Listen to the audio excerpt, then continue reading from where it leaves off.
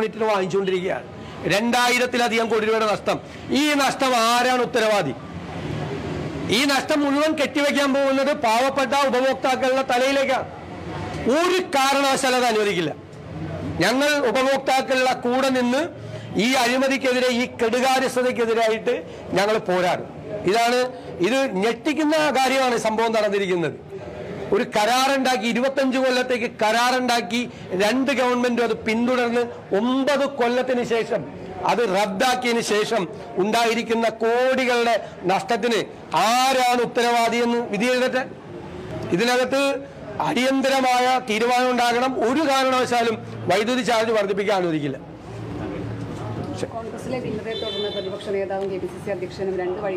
ഇനി ഒരു കാര്യമില്ല. ഞാൻ ഇന്നലെ ആ വിഷയത്തെക്കുറിച്ച് സംസാരിച്ചു കഴിഞ്ഞു. സംഘടനാപരമായ കാര്യങ്ങളെക്കുറിച്ച് ഞാൻ സംസാരിക്കാറില്ല. ഞാൻ ഇന്നലെ വളരെ വ്യക്തമായിട്ട് എന്റെ മറുപടി പറഞ്ഞു. ഞാൻ വിമർശനത്തിന് അതീതനല്ല. ആർക്ക് വേണമെങ്കിലും എന്നെ വിമർശിക്കാം. എന്റെ ഭാഗത്ത് തെറ്റുണ്ടെങ്കിൽ ഞാൻ തിരുത്തും. അല്ലെങ്കിൽ അവരെ പറഞ്ഞ് ബോധ്യപ്പെടുത്തും. അതല്ല അത് അത് എന്റെ തിരുത്തൽ നടപടിക്രമത്തിന്റെ ഭാഗമായിട്ടാണ് ഞാനത് ചെയ്തത്. ഇനി നോ മോർ ക്വസ്റ്റ്യൻസ് പ്ലീസ് സംഘടനാപരമായ കാര്യമാണ്. ഞാൻ സംഘടനാപരമായ കാര്യങ്ങൾക്ക് പാർട്ടി പ്രവർത്തകർക്ക് വേദനയുണ്ടാക്കുന്ന തരത്തിലുള്ള ഒരു പരാമർശവും എന്റെ നാവിൽ നിന്നുണ്ടാവില്ല.